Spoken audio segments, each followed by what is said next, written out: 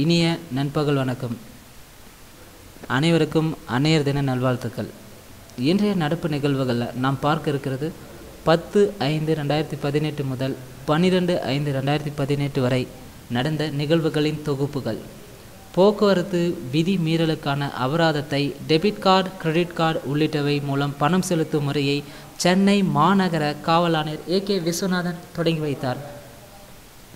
கர்நாடக சட்டசபை தேர்தல் ரெண்டாயிரத்தி பதினெட்டு நடைபெற்ற நாள் மே பன்னிரெண்டு நடந்தது.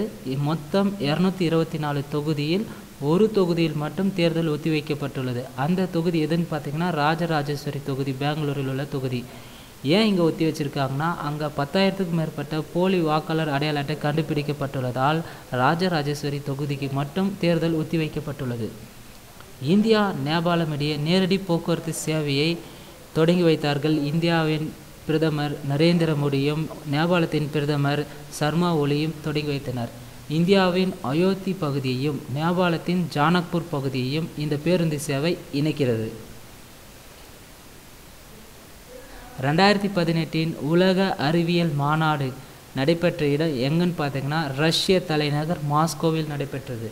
ரெண்டாயிரத்தி பதினெட்டின் உலக அறிவியல் மாநாடு ரஷ்ய தலைநகர் மாஸ்கோவில் நடைபெற்றது. இந்த உலக அறிவியல் மாநாட்டில் இந்திய கம்யூனிஸ்ட் கட்சி சார்பில் து ராஜா அவர்கள் அழைக்கப்பட்டுள்ளார். ஆறாவது அமெரிக்கிய இந்திய வானூர்தி உச்சி மாநாடு நடைபெற்ற இடம் மும்பை. ஆறாவது இந்திய அமெரி அமெரிக்க இந்திய வானூர்தி உச்சி மாநாடு நடைபெற்ற இடம் மும்பை. இதை தொடங்கி வைத்தவர் சிவில் விமான போக்குவரத்து துறை அமைச்சர் சுரேஷ் பிரபு. ஆறாவது அமெரிக்க இந்தியா வானூர்தி உச்சி மாநாடு நடைபெற்ற இடம் மும்பை. இதை தொடங்கி வைத்தவர் சிவில் விமான போக்குவரத்து துறை அமைச்சர் சுரேஷ் பிரபு. ஷாங்காய் ஒத்துழைப்பு அமைப்பின் சுற்றுலா அமைச்சர்கள் மாநாடு நடைபெற்ற இடம் எங்கன்னு பார்த்தீங்கன்னா சீனாவின் உவான் நகரில் நடைபெற்றது. இதில் மத்திய சுற்றுலாத்துறை அமைச்சர் கேஜே அல்போன்ஸ் பங்கேற்றார். ஷாங்காய் ஒத்துழைப்பு அமைப்பின் சுற்றுலா அமைச்சர்கள் மாநாடு சீனாவின் வான் நகரில் நடைபெற்றது. இதில் மத்திய சுற்றுலாத்துறை அமைச்சர் கேஜே அல்போன்ஸ் பங்கேற்றார். ரைத்து பந்து என்ற விவசாயிகளின் நண்பர் திட்டத்தை தொடங்கியுள்ள மாநிலம் எதுன்னு பார்த்தீங்கன்னா தெலுங்கானா அரசு. இந்த ரைத்து பந்து என்ற விவசாயிகள் நண்பர் திட்டம் என்னென்னா விவசாயிகளுக்காக ஆண்டுதோறும் மாதம் ஆண்டுதோறும் நாலாயிரம் ரூபாய் வழங்கும் திட்டம் தான் இந்த ரைத்து பந்த் என்ற திட்டம்.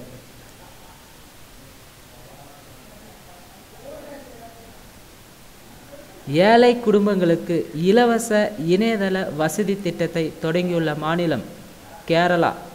ஏழை குடும்பங்களுக்கு இலவச இணையதள வசதி திட்டத்தை தொடங்கியுள்ள மாநிலம் கேரளா. மகளிர் பொருளாதார மன்றம் ரெண்டாயிரத்தி பதினெட்டாம் ஆண்டில் சிறந்த பெண்மணி விருதை பெற்றவர் நிஷா பல்லாவ். மகளிர் பொருளாதார மன்றம் ரெண்டாயிரத்தி பதினெட்டாம் ஆண்டிற்கான சிறந்த பெண்மணி விருதை நிஷா பல்லாவுக்கு வழங்கியது. மலேசியாவின் புதிய பிரதமராக தேர்ந்தெடுக்கப்பட்டவர் மகாத்தீர் முகமது தொண்ணூற்றி மூணு வயதானவர். மலேசியாவின் புதிய பிரதமர் மகாத்தீர் முகமது தொண்ணூற்றி மூணு வயதுடையவர். உலகின் மிகவும் வயதான பிரதமர் ஆவார் இவர். உலகின் மிகவும் வயதான பிரதமர் ஆவார் இவர். சிக்கிம் அரசின் பசுமை தூதராக மும்பை திரைப்பட பாடகர் மொஹித் சௌகான் நியமனம். சிக்கிம் அரசின் பசுமை தூதராக மும்பை திரைப்பட பாடகர் மொஹித் சௌகான் நியமனம். மணிப்பூர் மாநில உயர்நீதிமன்றத்தின் புதிய தலைநீ தலைமை நீதிபதியாக தேர்ந்தெடுக்கப்பட்டவர் ராமலிங்கம் சுதாகர். இந்த ராமலிங்கம் சுதாகர் தமிழ்நாட்டைச் சேர்ந்தவர். மணிப்பூர் மாநில உயர்நீதிமன்றத்தின் புதிய தலைமை நீதிபதி யாருன்னு பார்த்தீங்கன்னா ராமலிங்கம் சுதாகர். மேகாலய மாநில உயர்நீதிமன்றத்தின் புதிய தலைமை நீதிபதி முகமத் யாக்குப் மீர். முகமத் யாக்குப் மீர். காஷ்மீர் மாநில உயர் நீதிமன்றத்தின் பொறுப்பு தலைமை நீதிபதியாக நியமிக்கப்பட்டவர் மூத்த நீதிபதி அலோக் அலோக் அராத்தே. காஷ்மீர் மாநில உயர் நீதிமன்றத்தின் பொறுப்பு தலைமை நீதிபதியாக நியமிக்கப்பட்டவர் மூத்த நீதிபதி அலோக் அராத்தே. ஒலிம்பிக் பதக்கம் இலக்கு திட்டம். அதாவது ஒலிம்பிக்கில் அதிக பதக்கம் வெல்வதற்காக தொடங்கப்பட்ட திட்டம் தான் ஒலிம்பிக் பதக்கம் இலக்கு திட்டம். டாப்ஸ்ன்னு சொல்லுவாங்க. Target Olympic podium scheme. இதில் முதல் ஐ ஆறு நபர்கள் தேர்ந்தெடுக்கப்பட்டுள்ளனர். ஹிமாத் தாஸ் ஓட்டப்பந்தயம் நவ்ஜித் கவுர் திலோன் வட்டி எறிதல் அகிலேஷ் ஷியோரன் துப்பாக்கி சுடுதல் இளவேனில் வளரிவான் துப்பாக்கி சுடுதல் ராக்கி ஹில்டார் பளுதூக்குதல் மொத்தம் இந்த டாப்ஸில் நூற்றி ஐம்பத்தி ரெண்டு வீரர்கள் தேர்வு செய்யப்பட்டுள்ளனர். ரெண்டாயிரத்தி பதினெட்டு பெண்கள் உலகக்கோப்பை கால்பந்து போட்டி ஆகஸ்டில் பிரான்ஸ் நாட்டில் நடைபெற உள்ளது. இந்த போட்டிக்கு உதவி நடுவராக இந்தியாவைச் சேர்ந்த யுவேனா பெர்னாண்டஸ் தேர்வு செய்யப்பட்டுள்ளார். ரெண்டாயிரத்தி பதினெட்டில் பெண்கள் உலகக்கோப்பை கால்பந்து போட்டி ஆகஸ்டில் பிரான்ஸ் நாட்டில் நடைபெற உள்ளது. இந்த போட்டிக்கு உதவி நடுவராக இந்தியாவைச் சேர்ந்த யுவேனா பெர்னாண்டஸ் தேர்வு செய்யப்பட்டுள்ளார். ரெண்டாயிரத்தி பதினெட்டு ஐபிஎல் கிரிக்கெட் போட்டியில் அதிக ரன்கள் எடுத்த இந்தியர் என்ற பெருமை பெற்றார் ரிஷப் பாண்ட். நூற்றி இருபத்தி எட்டு ரன்கள். ரெண்டாயிரத்தி பதினெட்டு ஐபிஎல் கிரிக்கெட் போட்டியில் அதிக ரன்கள் எடுத்த இந்தியர் ரிஷப் பாண்ட் நூற்றி இருபத்தி எட்டு ரன் எடுத்துள்ளார். டெஸ்ட் கிரிக்கெட்டில் அயர்லாந்து அணி முதல் முறையாக அறிமுகம் செய்யப்பட்டுள்ளது. டெஸ்ட் கிரிக்கெட்டில் அயர்லாந்து அணி முதல் முறையாக அறிமுகம் செய்யப்பட்டுள்ளது. அதாவது இந்த அயர்லாந்து அணி பாகிஸ்தான் அணியுடன் விளையாட உள்ளது.